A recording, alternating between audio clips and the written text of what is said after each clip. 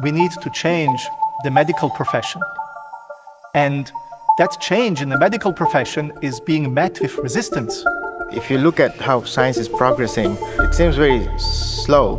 But if you look at the existence of human in terms of the existence of the universe, things are moving fast. Virtual humans and digital twins really mark a new generation of medicine because for the very first time, medicine will be truly predictive and truly personalized. Artificial intelligence is around for, for a very short amount of time.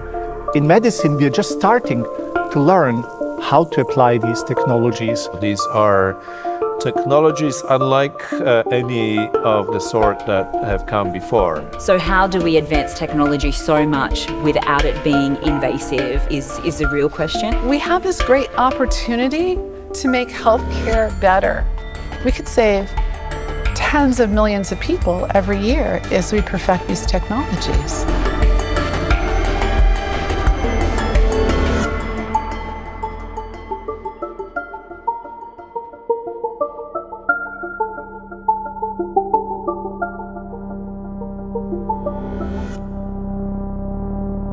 Well, if you say virtual humans to a regular person, they'll think that you're talking about a Hollywood special effect, you know, something that looks uh, like a human uh, and is very, very kind of detailed down to the last pore of skin. But when I'm talking about uh, virtual humans, what I'm talking about is a digital twin of a person.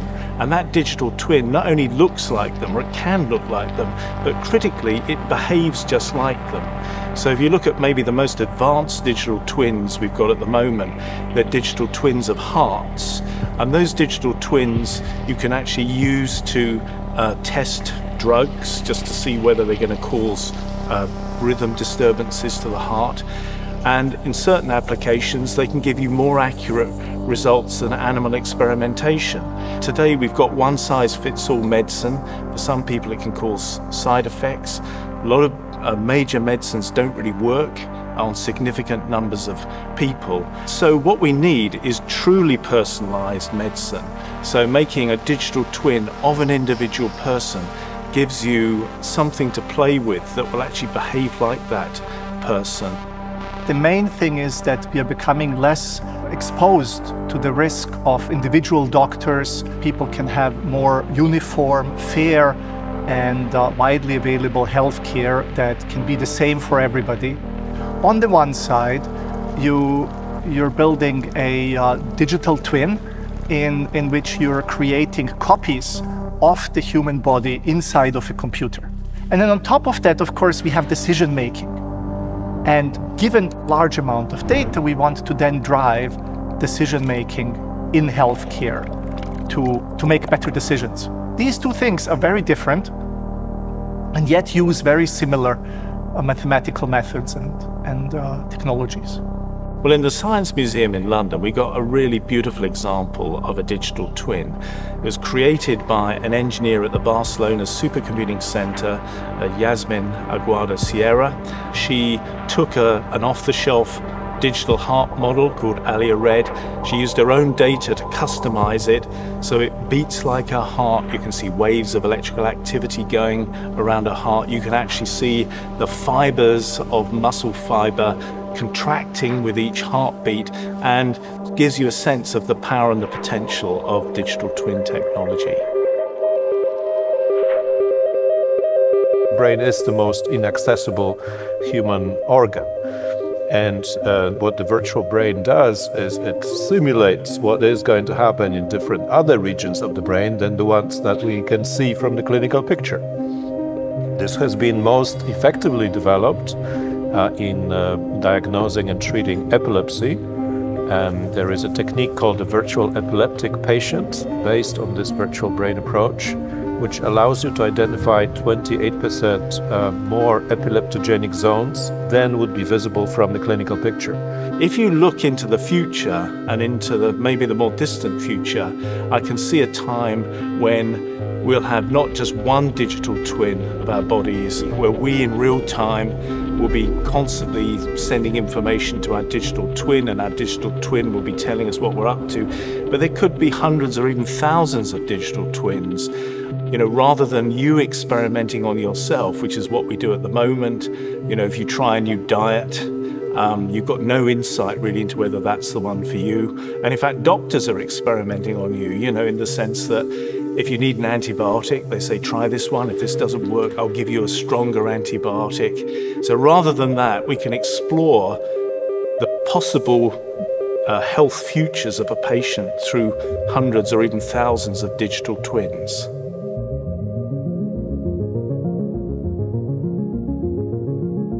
we can have personalized medicine where the treatment and the solution and the response from the healthcare system can be personalized to our genome, to our healthcare uh, history, to any kind of measurements and numbers that we can extract in a uniform way from, from the body and, and the environment. So many people have been touched by disease in their family, a loved one, a friend, and watch them struggle through a disease that they maybe didn't have to die or suffer from. So it's never far from my mind like, this is crazy. Why can't we figure out what people have and fix it more efficiently? What happened about three years ago is Apple and Samsung and Google put a chip that was really for augmented reality, a chip with high fidelity in the near infrared picture of you can't open your phone with the lasers bouncing off of your face and being received on this camera chip. Each of those lasers were cost $100,000 20 years ago. Now that pack of lasers is a dollar. And I thought, huh, could we actually use physics and the tools of our time, which are of course artificial intelligence and deep learning, but also Moore's law and device physics and consumer electronics and there's all kinds of physics, jujitsu you can do with this, and tickling neurons or tickling stem cells or bursting cancer cells without harming any healthy tissue. The principle, well known by opera singers. They pick up a wine glass, they ping it. They hear that note, oh, they replicate it, they sing loudly, the wine glass bursts, but nothing else in the room is harmed. We could treat diseases, cancers, arthritis, diabetes, blood disease, mental disease, neurodegenerative disease. It looks like we have potential with this type of technology to cure 90% of what ails us and what kills us. That totally changes everything. It's not just the steady march of Moore's law and increment. It's a step change. It's a quantum leap in what is possible with the manufacturing processes that have reached this moment.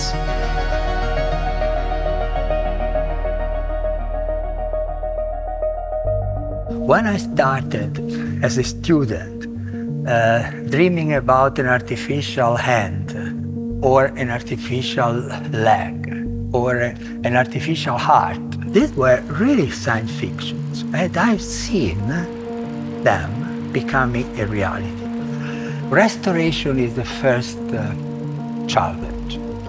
Then, in doing this, uh, you may be able to even increase the performance of uh, the original limbs and senses. So you could even think about augmenting, not just restoring, but augmenting the performance. And this could happen by developing, for example, bionic limbs. Very much interested in this.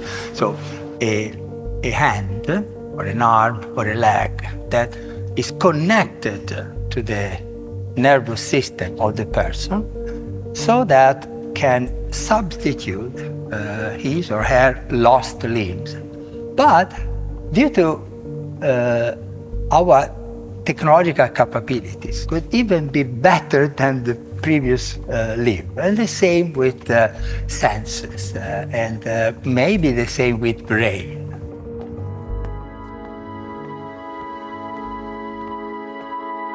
My name is Jessica Smith. I'm a former Paralympian, now working as a disability inclusion consultant and children's author. I was born missing my left arm, and to this day, we don't know why that occurred. But for the last 12 months, I've been using a bionic hand. The way in which this hand works, it's called myoelectric sensing. There are electrodes or sensors on the inside of this part of the forearm, which are aligned to the remaining forearm muscles in my arm, the residual limb. I tell my brain to move and contract my muscles. And as I'm doing that, it sends a signal to the computer in the hand, which is programmed to different gestures and hand grips. And I can control the speed and the force with an app on my phone.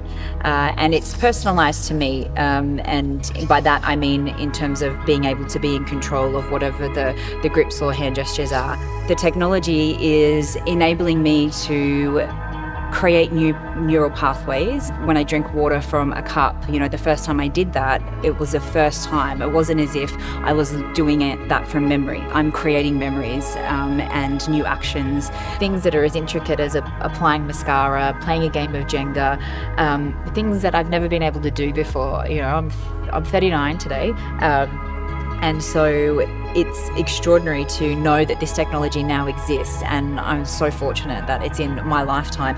And seeing what we have today and what the future holds, you know, I know that younger generations of people who are born or acquire a disability will be able to use technology and that level of adaptation and transition will be so much smoother.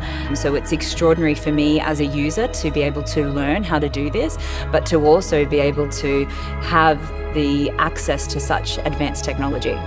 There is fascinating research coming out of uh, the labs which addresses some of the most impenetrable uh, conditions uh, that humans can have. And one good example is the spinal cord implant developed uh, by the Polytechnic of Lausanne team. And this enables uh, paralyzed people to walk again within 24 hours. Uh, this is impressive, amazing technology which is the result of uh, the work of interdisciplinary teams.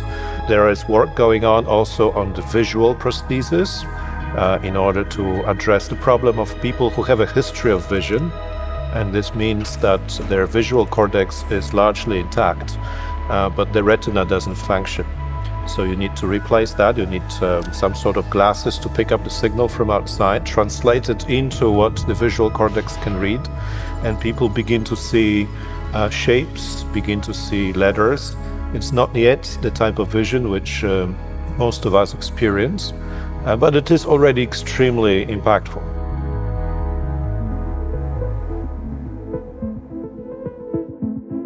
There is a symbiosis between genetics and healthcare. Imagine once we'll be able to look at the genetics and the healthcare history of people at large when data is going to be released from the confines of a uh, doctor's notebook so that we can look at the implications of different gene sequences on different risks and different opportunities for the individual person. We'll be able to make decisions for that person or help that person make decisions for themselves in a personalized way to connect it to their genome. The building block of human is DNA. And if you look at the genome, it is a 3 billion base pair long string. And it, there's a lot of gene embedded within that string. You can see um, a piece of string that has ACGT, you know, uh, sequences that can alter, and these are called mutation. So any base that has a mutation that is damaging for our health causes a disease. So the technology that we are looking at is CRISPR that can alter the bases into the normal state. So whatever disease that is happening because of this change at the DNA level can be altered back to the normal state. And some of the gene are in the dark region of the genome, meaning that those are really extremely hard to sequence. And we have brought a technology uh, that will allow us to, you know, sequence long stretches of DNA so including those dark regions or unreachable re re regions of the genome. Arguably our center is one of the biggest research center, genome research center in, in the inter Middle East. So hopefully will bring uh, very novel insight for, from this region. Gene editing and cell therapy addresses the very substance of what we are made of. And it can be a one-time treatment. So gene editing, you know, should be a treatment for lifetime. We want to cure disease with the patient's own cell. So making heart cells, brain cells, muscle cells, or what my lab is studying is pancreatic cells, the insulin-producing cells that are deficient in diabetes. I believe we are ahead of a revolution in healthcare.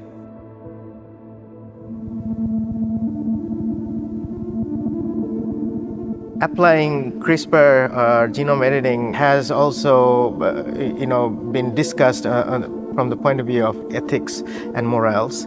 So we talked about how it can be applicable to disease. Now we are talking about how it can be applicable to trait. Uh, first of all, we need to see is it really necessary? Uh, do, do we need that?